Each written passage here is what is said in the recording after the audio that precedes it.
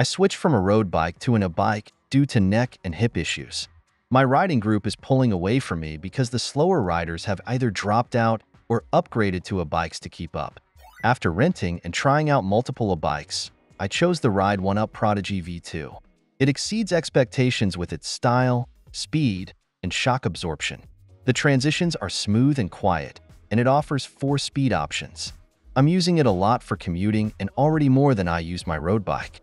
Now, I'm keeping up with my friends. Initially, I had range anxiety, but I accepted that I might not be riding 60 miles in one go anymore. I bought a second battery for longer rides. I also got a plug that automatically turns off the charger after 4 hours, so I don't have to worry about overnight charging. However, if I had known the tires were much fatter than those on the Prodigy V1, I might have chosen differently. The wider tires seem to negatively impact the range and make it harder to avoid potholes, which are plentiful in my area. I paid extra for the step-through model and was disappointed to find the bottle cage is positioned in the step-through area.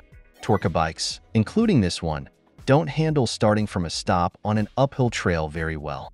My town is hilly, so this is a challenge. I can't stand on a pedal and rely on the battery to assist in starting. I have to start up a hill from a dead stop with a running start, even in boost mode.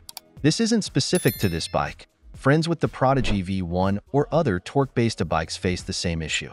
I wish the company would offer an accessory to raise the handlebars so I can sit fully upright all the time.